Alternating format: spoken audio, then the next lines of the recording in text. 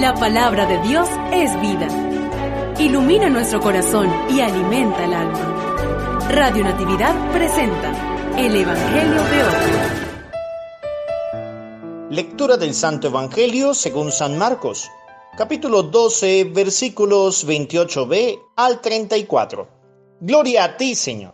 En aquel tiempo, un escriba se acercó a Jesús y le preguntó, ¿qué mandamiento es el primero de todos?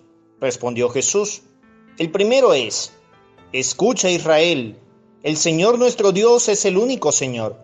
Amarás al Señor tu Dios con todo tu corazón, con toda tu alma, con toda tu mente, con todo tu ser. El segundo es este, amarás a tu prójimo como a ti mismo. No hay mandamiento mayor que estos.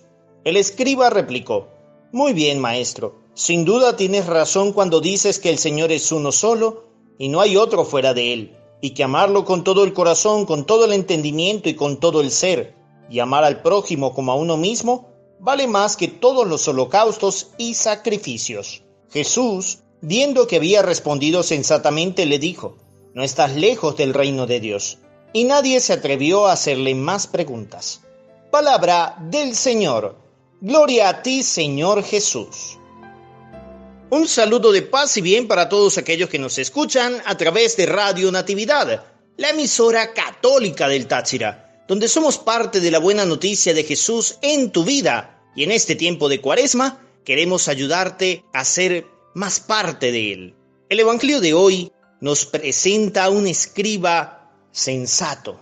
Jesús ve que este escriba habla sensatamente, que es capaz de reconocer cómo las palabras del Señor respecto a los mandamientos tienen sensatez, coherencia, sindéresis, son palabras de vida eterna.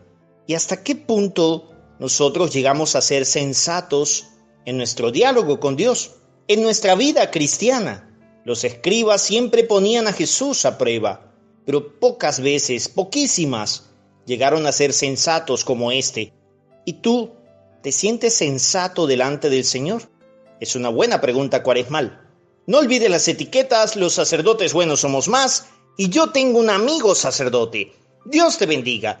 Gloria al Padre y al Hijo y al Espíritu Santo, como era en el principio, ahora y siempre, por los siglos de los siglos. Amén.